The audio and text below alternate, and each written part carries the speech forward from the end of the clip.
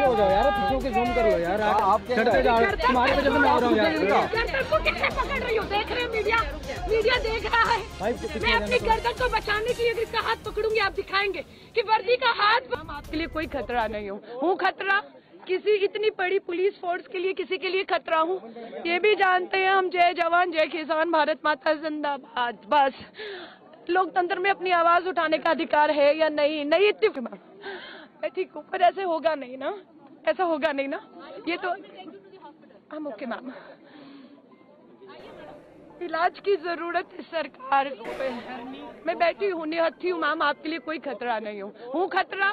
किसी इतनी बड़ी पुलिस फोर्स के लिए किसी के लिए खतरा हूँ? ये भी जानते हैं हम जय जवान जय किसान भारत माता जिंदाबाद। बस।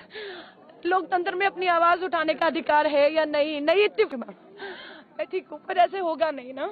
ऐसा होगा नहीं ना? ये तो हम ओके मैम इलाज की ज़रूरत है सरकार है मैं बैठी हूँ निहत्थी हूँ मैम आपके लिए कोई खतरा नहीं हूँ। हूँ खतरा?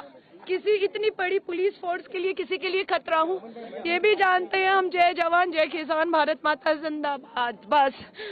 लोकतंत्र में अपनी आवाज़ उठाने का अधिकार है या नहीं? नहीं इतनी मैम मैं ठीक हूँ पर ऐसे होगा नहीं ना?